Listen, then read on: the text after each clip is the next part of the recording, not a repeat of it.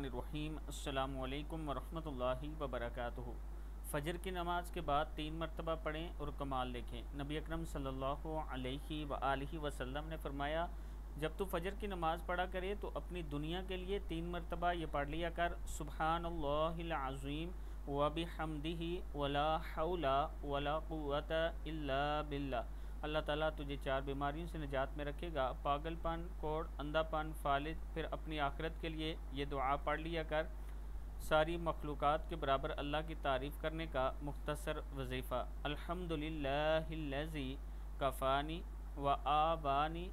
الحمد للہ اطعامانی و سقانی۔ الحمد للہ من علیہ و افضل اللہم انی اسألوکا بعزتکا ان تنجینی من النار ساری تعریف اس اللہ کے لیے ہے جس نے مجھے تکلیف سے محفوظ رکھا اور رہنے سہنے کو جگہ عطا فرمائی ساری تعریف اس اللہ کے لیے ہے جس نے مجھے کھلایا اور پلایا اور ساری تعریف اس اللہ کے لیے ہے جس نے مجھ پر احسان اور مہربانی فرمائی اے اللہ میں تجھ سے تیری عزت کے واسطے سوال کرتا ہوں اور تجھے، تو مجھے آگ سے نجات دے نماز فجر کے بعد کی دعا حضرت ام سلمہ رضی اللہ تعالیٰ عنہ فرماتی ہیں کہ آپ صلی اللہ علیہ وآلہ وسلم فجر کی نماز کے بعد جب سلام پھیرتے تو یہ دعا مانگتے، اللہم انی اسألوکا علما نافعا ورزقا طیبا وعملا متقبلا اللہم انی اسألوکا علما نافعا